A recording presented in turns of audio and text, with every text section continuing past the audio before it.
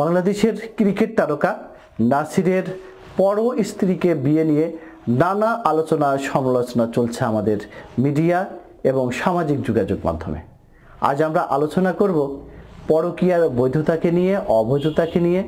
পর স্ত্রীকে বিয়ের ক্ষেত্রে আমাদের দেশে কি আইন প্রচলিত রয়েছে? তালাক ব্যতীত অন্য কারও বিয়ে করা আইনত সিদ্ধ কেনা? সেসব বিষয় নিয়ে আমাদের আজকের আলোচনা। তবে মূল আলোচনা শোনার আগে আমাদের লটিপ সিপিডি চ্যানেলটি সাবস্ক্রাইব করুন, বেল বাটনে ক্লিক করুন। প্রথমে আমরা জেনে নিই পরকীয়াটা কি। পরকীয়া হচ্ছে বিবাহিত জীবন থাকা সত্ত্বেও অন্য কোনো নারী বা পুরুষের সঙ্গে অনৈতিক সম্পর্কে জড়িয়ে পড়া। বেশিরভাগ পরকীয়া সম্পর্ক গড়ে ওঠে নারী বা পুরুষের শারীরিক এবং মানসিক চাহিদা মেটানোর জন্য। মোবাইল ফোন, ফেসবুক সহ নানা প্রযুক্তি মানুষের হাতের মুঠোই হওয়ায় এই পরকীয়া সম্পর্ক গড়ে তোলাও অনেক সহজ বলে বিশেষজ্ঞরা মত দিয়েছেন। আমাদের দণ্ডবিধিতে পরকীয়ার সাজা সম্পর্কে কি বলা আছে সেসব নিয়েই আমি আলোচনা আলোকপাত করতে যাচ্ছি। পরকীয়ার সাজা সংক্রান্ত আমাদের দণ্ডবিধির চারশো সাতানব্বই ধারায় বলা হয়েছে যে কোনো ব্যক্তি যদি কোনো মহিলার সঙ্গে যৌন সম্পর্ক স্থাপন করে এবং ওই মহিলার স্বামীর অনুমতি না থাকলে, সেই ব্যক্তি পাঁচ বছর পর্যন্ত জেল এবং জরিপানা বা উভয় দণ্ডই হতে পারে। কোনো স্ত্রী পরকীয়া করলে, যার সঙ্গে পরকীয়া করবে শুধু সেই ব্যক্তির বিরুদ্ধেই শাস্তির বিধান আমাদের দেশে আইনে রয়েছে। অথচ স্ত্রীর বিরুদ্ধে স্বামীর কিছুই করার নেই।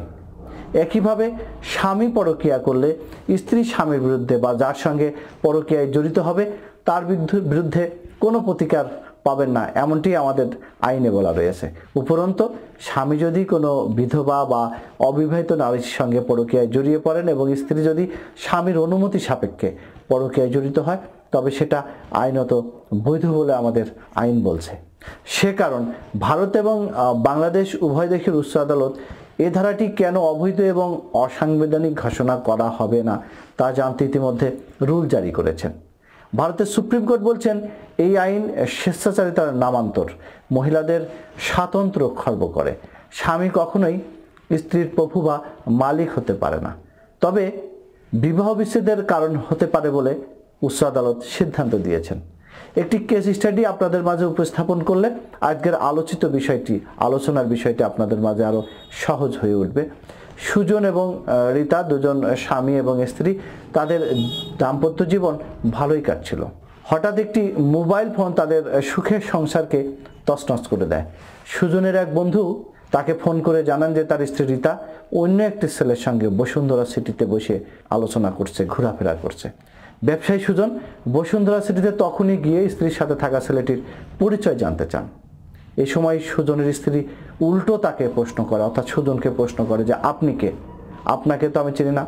সুজন রাগ সংবরণ করতে না পেরে স্ত্রীকে তখন সেই প্রেমিকের সামনেই চত্থাপ্পুর মারেন। নারীর গায়ে হাত তোলার অপরাধে উপস্থিত যারা নিরাপত্তা রক্ষী ছিলেন, তারা সুজনকে পাকড়াও করে পুলিশের কাছে হস্তান্তর করেন। পরে পুলিশের জেরায় সব সত্য প্রকাশ করেন রীতা। এ সময় রীতার প্রেমিক পুলিশকে বলেন, রীতার সঙ্গে আমার দীর্ঘদিনের সম্পর্ক। অবিবাহিত হিসেবেই রীতা প্রথমে আমার সঙ্গে পরিচয় দিয়ে প্রেমের সম্পর্ক গড়ে তুলেছে। সে আমার সঙ্গে প্রতারণা করেছে। এই সময় স্বামীকে না চেনার ভান করায় সুজনও রীতিমতো রীতাকে নিতে অস্বীকার করেন। ঘটনা কিন্তু এখানেই শেষ নয়। শেষমেশ রীতা সুজনের কাছে ক্ষমা চায় এবং ওই প্রেমিক পুরুষটি তাকে ভুল বুঝিয়ে এই পথে নামিয়েছে জানিয়ে তার বিচার দাবি করেন। সুজন শেষমেশ স্ত্রীর কথা মতো ওই প্রেমিক পুরুষের বিরুদ্ধে আদালতে মামলা ঠুকে দেন।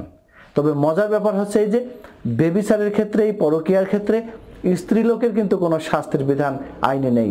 ওই স্ত্রীলোকটি যে দুষ্কর্মে সহায়তা করেছে বা সহায়তা সহায়তাকারিণী বা বেবিচারের অপরাধে দোষী, অথচ তিনি কোনো সাজা পাবেন না। এই বিষয়ে মহামান্য লাহোর হাইকোর্ট একটি নজিরবিহীন সিদ্ধান্ত দিয়েছেন যে, যা পাকিস্তান লিগ্যাল ডিসিশন উনিশশো চুয়াত্তর সালে সন্নিবেশিত হয়েছে। সেখানে বলা আছে মহিলা আসামি হতে পারে না। তবে ওই পুরুষটির সাজা দিতে হলে অভিযোগকারীকে অবশ্যই প্রমাণ করতে হবে যে, ওই মহিলার সাথে যৌন সংগ্রাম করার সময়, অর্থাৎ সহবাস করার সময় আসামি জানতো অথবা জানার যুক্তিসঙ্গত কারণ ছিল যে, যৌন সঙ্গমকারী মহিলা অপর কোনো ব্যক্তির স্ত্রী। তবে এখানে বলে রাখা দরকার যে কোনো মহিলাকে তার পূর্বের স্বামী তালাক দিয়েছেন। এই সরল বিশ্বাসে আসামি বিবাহ করলে তাকে এই ধারার অধীনে কোনো দোষী সাব্যস্ত করা যাবে না। আরও মজার ব্যাপার হচ্ছে যে মহিলার সাথে যৌন সঙ্গম করা হয়, যে মহিলার সাথে সেই মহিলা ওই সময় বিবাহিত না হলে এই ধারার অধীনে কোনো অপরাধ আমলেও নেওয়া যাবে না। এই ধারার অধীন শাস্তি দিতে হলে বিবাহের বিষয়টি অবশ্যই যথাযথভাবে প্রমাণ করতে হবে। তবে মহামান্য লাহোর হাইকোর্ট বলছেন, অবিবাহিত পুরুষ স্ত্রীলোক যদি দীর্ঘদিন ধরে একত্রে বসবাস করে, তবে বলা যাবে না যে তারা বেবিচারের অপরাধ করেছে। এই বিষয়ে পিএলডি উনিশশো বাষট্টি পাঁচশো আটান্ন কথায় স্পষ্ট একটি সিদ্ধান্ত রয়েছে। এই মামলায় আসামিকে সাজা দিতে হলে বাদীকে অবশ্যই পাঁচটি বিষয় প্রমাণ করতে হবে। প্রথমত, আসামি কোনো নারীর সাথে যৌন সঙ্গম করেছিল। দ্বিতীয়ত, উক্ত নারী বিবাহিত ছিল। তৃতীয়ত, আসামি বিবাহের বিষয়টি জানতো এবং তা বিশ্বাস করার কারণও ছিল। চতুর্থত, ওই যৌন সঙ্গম নারীর স্বামী সম্মতি বা সমর্থন ব্যতিরিকে হয়েছিল। পঞ্চমত, ওই যৌন সঙ্গম নারীর ধর্ষণের সামিল ছিল না। যেহেতু আমাদের সাক্ষ্য আইন এভিডেন্স অ্যাক্টের একশো এক ধারায় বলা আছে যে, কোনো ঘটনা প্রমাণের দায়িত্ব বাদীর, অর্থাৎ যিনি অভিযোগটি দায়ের করেছেন, সেই ব্যক্তি সেই ঘটনাটি প্রমাণ করে আসামির শাস্তির ব্যবস্থা করবেন। গোপালচন্দ্র বনাম লাসমত দাসী মামলা, যা চৌত্রিশ ডিএলআর এর একশো পঁয়তাল্লিশ পৃষ্ঠে উল্লেখ রয়েছে যে, বিচার্য বিষয় সম্পর্কে যে পক্ষ কোনো ঘটনার অস্তিত্বের দাবি করে, সেই পক্ষকেই তা প্রমাণ করতে হবে। এ মামলায় আসামি রীতা যে ব্যবিচারী করেছে, বাদী সুজন প্রমাণ করতে সক্ষম হয়। বিচারিক ম্যাজিস্ট্রেট আসামিকে পাঁচ বছরের বিনাশ্রম কারাদণ্ড, সেই সাথে অর্থদণ্ডে দণ্ডিত করে রায় প্রদান করেন। সম্মানিত ভিউয়ার্স বেবিচারি কি, পরকিয়া কি ক্রিকেটার নাসিরের বিয়েটা বৈধ না অবৈধ, এ সম্পর্কিত বিস্তারিত আলোচনা শুনেছেন। এই সম্পর্কে যদি আপনাদের আরও কিছু জানার থাকে, তাহলে আমাদের কমেন্ট বক্সে উল্লেখ করুন। আমরা সে সকল বিষয়ে ভিডিও নিয়ে আপনাদের মাঝে ফিরবো। আজ এ পর্যন্তই। সবাই ভালো থাকবেন, সুস্থ থাকবেন। আমাদের চ্যানেলটিতে সাবস্ক্রাইব করতে ভুলবেন না।